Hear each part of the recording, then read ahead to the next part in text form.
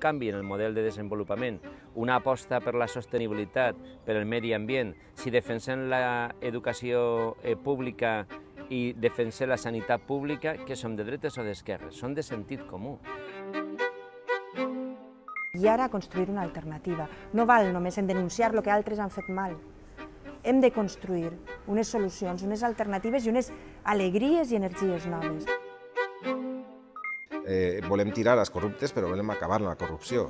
Volem tirar els que han privatitzat i volem recuperar per al servei públic molts eh, drets fonamentals. Per això diguem d'esquerra.